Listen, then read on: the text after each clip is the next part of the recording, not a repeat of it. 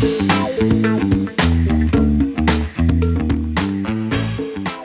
everybody.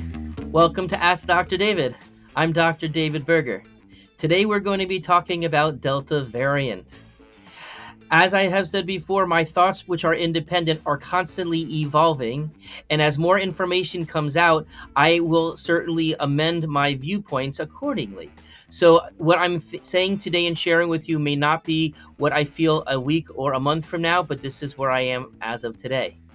So Shari is again joining us today. Shari, how you doing?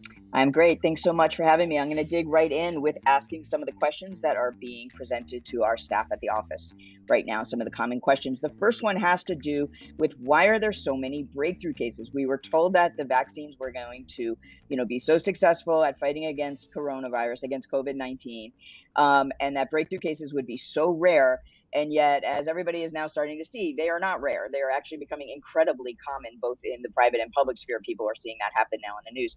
Um, so, can you talk about why? Why is this? Does this mean that the vaccines aren't working? What is this about? Okay, so there's a, quite a bit there. So first of all, it should be understood that even when the vaccine first came available with the data, they were talking about having 95% efficacy, which means even back then there were 5% of cases that were having breakthroughs. Okay, now one of the unfortunate things that the CDC did was they decided back in the spring that they would only refer to as breakthrough infections as those who were hospitalized or for people who died. And so for the entire summer, we really had no idea as to how common breakthrough infections were becoming with the Delta variant because they were still only reporting that. And even we still now hear about that. These are relatively rare. These are rare breakthroughs. But anybody who's been looking around, again, you hear about it over and over again. And you typically you don't hear about things over and over again when they're rare, but they're happening right now you know we are seeing a difference that a lot of the most people you know there does seem to be a difference between those who are catching the disease who have had fully vaccinated before versus those who um, did not have any immunity in terms of the severity as to how sick that they're getting. But but but it's not a rare thing now that people are getting are, are are are getting the virus even though they've received vaccines. And a lot of this has to do with the fact of how contagious and how the um, and how the viral load of the Delta variant is. So there's just so much more of it around, not just in society, but in the individuals who may be hanging out with other people who they may be hanging out with, or even the sheer number of viral particles that are getting into their body seems to be overwhelming the amount of antibodies that a person has. Now, one of the things we also know, and this seems to be true, whether a person had prior COVID or whether they had the vaccine, is that over time, the antibody levels seem to be fading.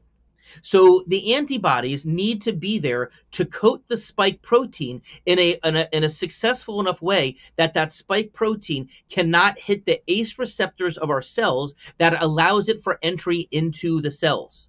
So if we're only able to coat some of those those spike proteins, then there's more spike proteins available to allow for access and therefore people are getting sick. So there's both the combination of that there's some waning immunity going out there, along with a more aggressive, more contagious, contagious disease that is what we're seeing of Delta, which is almost 100% of what we're seeing in a country right now. Right, and I and, and just to reiterate something you said that I think is very important.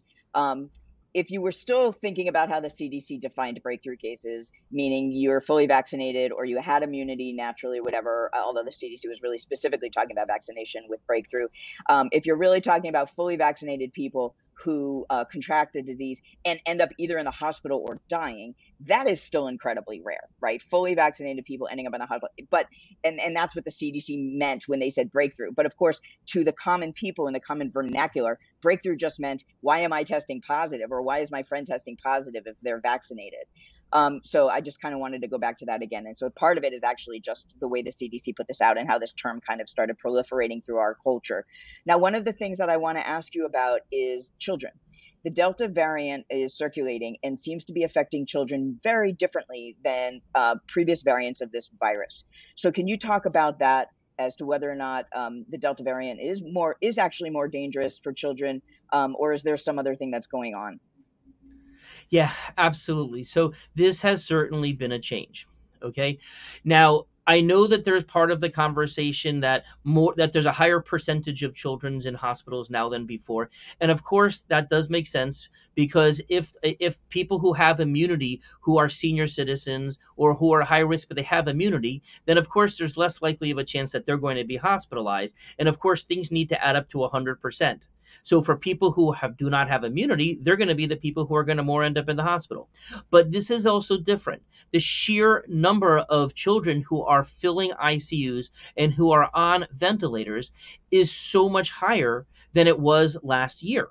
So this virus has changed and it has become more dangerous for children.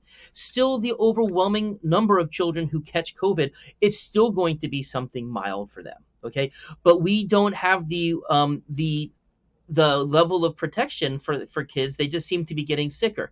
Now of course in our practice we do spend so much of our times optimizing the immune systems of our patients and we don't just put people on zinc and vitamin D. We check their levels. We make sure that they, and we really try to get them to the middle of the reference ranges that are provided by the laboratories in order to give them good protection. There were studies that came out last year that showed having adequate vitamin D levels above 50 nanograms per milliliter, having good intracellular zinc levels made a significant impact on the ability of the virus. And this isn't just for COVID, this is for lots of other viruses and what we've been saying and seeing in our practice for all of these years that there seems to be a very good protective level that there's that that this is able to give that these nutrients are able to give people.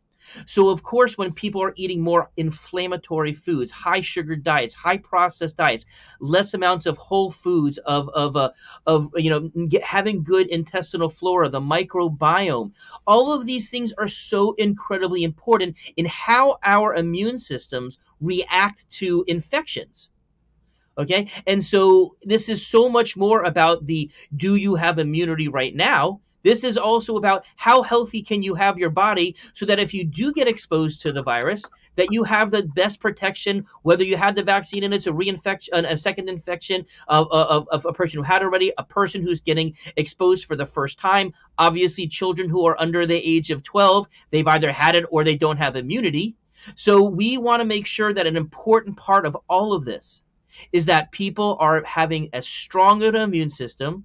We have our immune support protocol, our COVID protocols that we recommend giving it to our as part of our patients um, information that they can take if they start to get sick to try to mediate to mitigate how severe that things get, and we've had very good success with that. All right. Well, you know that's certainly a lot of information, and we're going to keep putting out these videos in as as as questions come in and as we get information. Um, please do subscribe to this channel so you can continue to follow Dr. David. Uh, check out our links below, and we look forward to seeing you next time. Thanks, Dr. David. Thanks. Have a good day, everybody.